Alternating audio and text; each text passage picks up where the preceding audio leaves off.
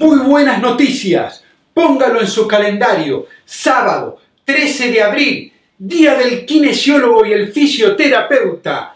A la 1 pm, desde Miami, hora de Nueva York, nuestra quinta transmisión en vivo. Desde las redes sociales, YouTube y Facebook. Temas a tratar.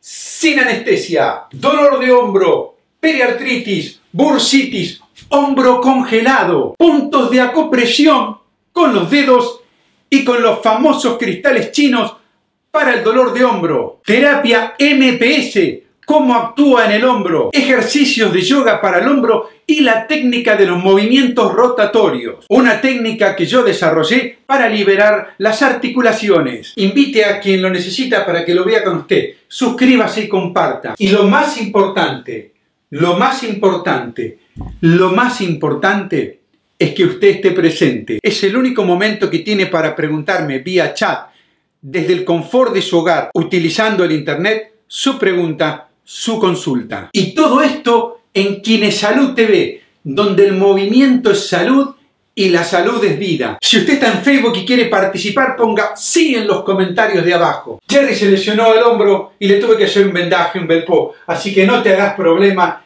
esta vez el mate lo cebo yo.